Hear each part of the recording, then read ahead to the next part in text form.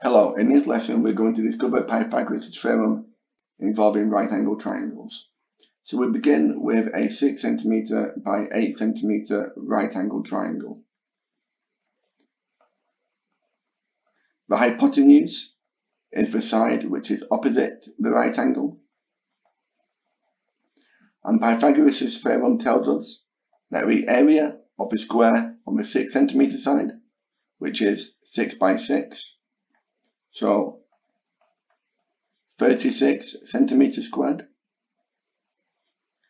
plus the area of a square on the 8 centimeter side, which is 8 by 8, so 64 centimeters squared, is equal to the area on the side of a hypotenuse, which is hypotenuse squared. So the 36 centimeters squared plus the 64 is equal to the hypotenuse squared. 36 times 64 is 100. And this is equal to the hypotenuse squared.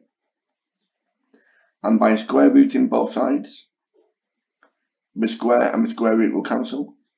The square root of 100 is 10.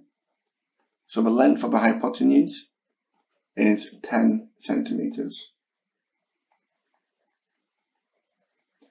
Okay, let's try question B. Okay, for question B, we have a 4 by 5 right angle triangle.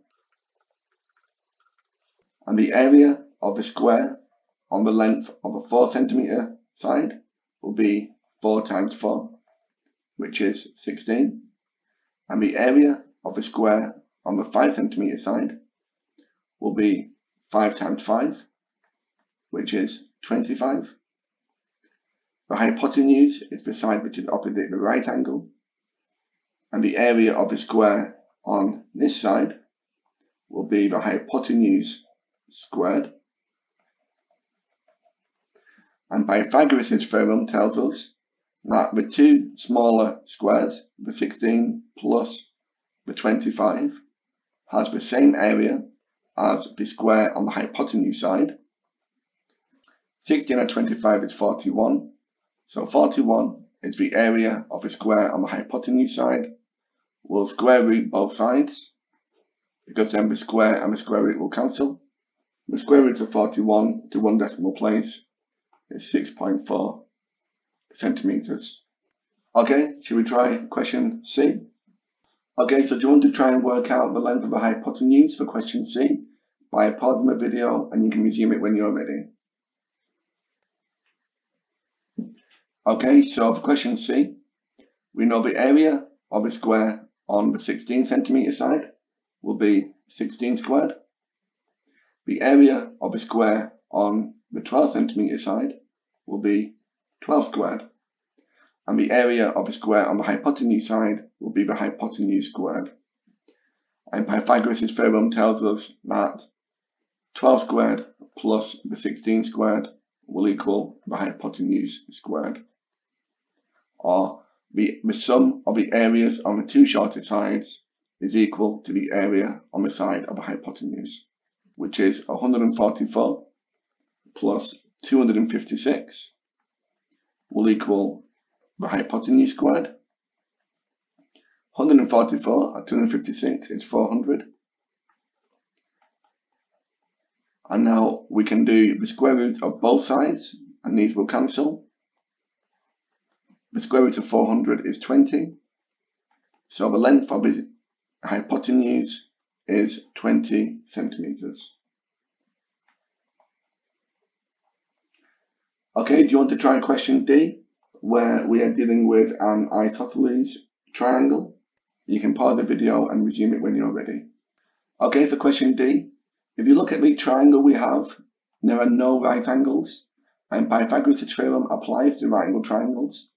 But what we can do is we can drop a line down here and this will cross at right angles.